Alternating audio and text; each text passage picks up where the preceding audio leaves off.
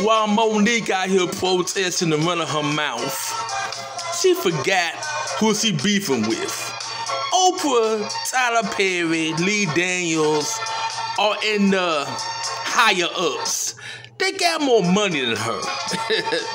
and plus, all three serve the LGBT agenda. and Monique just ain't a part of that club, even though she bisexual her damn self.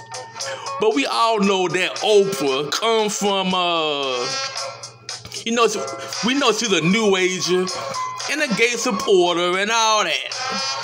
And uh she's a universalist and all that and she's one of the richest black women in the nation.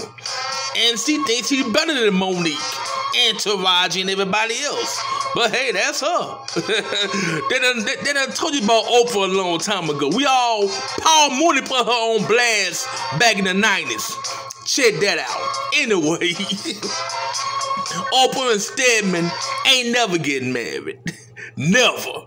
How long they been together? Man, Oprah and Stedman were fucking when I was in grade school.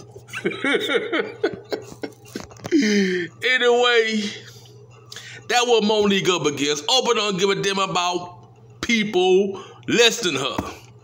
Unless they're part of her circle and they work for her. And I believe her and Gayle need to come out the closet because they done gave too many hints that they were involving in each other pussies, like uh, going on, going on, going on road trips back in the day to a very special private cottage to spend quality time. Why would two women go to a cottage, uh, their own private spot to spend quality time? But they ain't fucking. Man, get the fuck out of here. Oprah giving Gayle that damn dildo.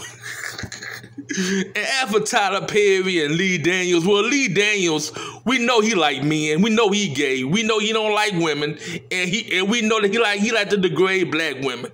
Nothing new there. And Tyler Perry, we know he come from the theater and we know we know the God who we really serve.